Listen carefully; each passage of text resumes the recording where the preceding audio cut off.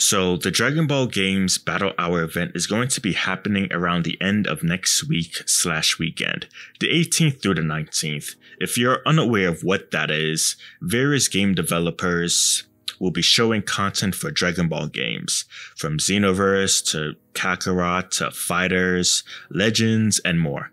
Now, as most of you probably know, Android 21 is the upcoming DLC character set to come for Dragon Ball FighterZ, and the developers do in fact plan on having her gameplay shown in this event. Let's look over in regards to what it mentions here. Experience the strength of up the upcoming DLC character Android 21 Lab Coat. Wear your team's colors in the online arena and cheer them on. Android 21 rules. Android 21 will be the only character who is not part of the draft. Each player will have to use Android 21 at least one time.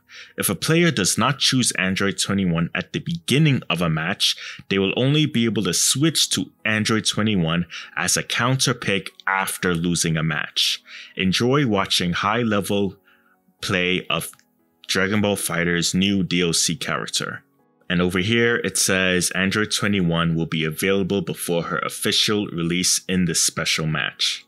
So here's the deal. Looking at the schedule, we'll be having a pretty major breakdown of the character on the second day of Battle Hour, which I'm sure will include her combos, special moves, ultimates, along with them doing player versus player matches, um, battle against the CPU in training mode, a lot of stuff.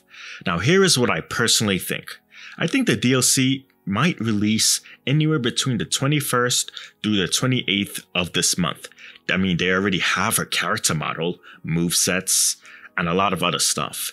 There is no way in hell they're going to take another month to release this character. I don't think so. It's just not realistic. It is, however, pretty reasonable to assume she's coming out shortly after her gameplay. I think the big major question moving forward is, will there be a season 4? And to that, I have no clue. Would I want it? Of course, who wouldn't? I mean, that would mean new characters, possible dramatic finishers, and more. But I'm keeping my expectations a bit low, and I'm gonna be assuming that she's the last character for FighterZ until said otherwise. But you know what? We'll see. Um, once gameplay of hers is provided, I'll show it on my channel. Until then, be on the lookout. If you're new here, be sure to give this channel a subscription. You know that really helps. When she actually releases for FighterZ, when she actually releases for FighterZ, I'll upload a lot of stuff regarding her. Until then, I'll see you all next time.